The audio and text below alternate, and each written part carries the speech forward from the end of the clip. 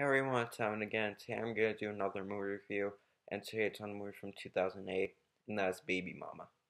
Now, the plot of this movie is where this lady named Kate Holbrook, played by Tina Fey, wants to have a baby, but she has a less likely chance to get pregnant, so there's this other lady named Angie, played by Amy Poehler, who has a bigger chance of getting pregnant, so, so, um, Kate has to do every she can to get Angie pregnant, and hopefully she'll have a baby. So that's pretty much the plot of this movie.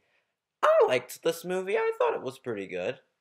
Uh, I saw this movie a long time ago. I was like eight or nine when I first watched this movie, and I enjoyed it. It was it was a funny movie. It has really great acting. I'm a fan of Tina Fey and Amy Poehler. I do like both of them. They're funny. I haven't seen Sisters, but it looks funny, so I'll probably check it out sometime.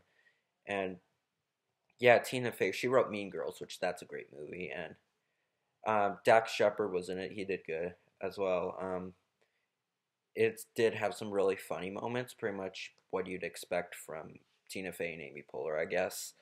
Um, and and I thought the story was pretty well done. It was pretty. It had a pretty funny story, and yeah, there are sex jokes, but what do you expect? It's a pregnancy movie, I guess.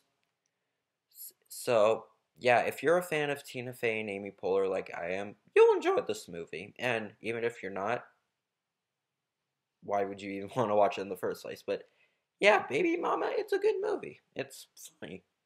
So, yeah, that's my review of Baby Mama. See you next time.